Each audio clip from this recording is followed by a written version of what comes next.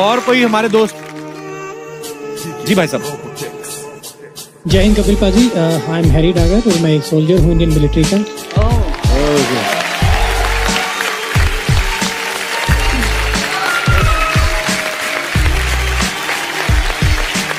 बहुत बहुत स्वागत है सर आपका। बहुत शुक्रिया सर।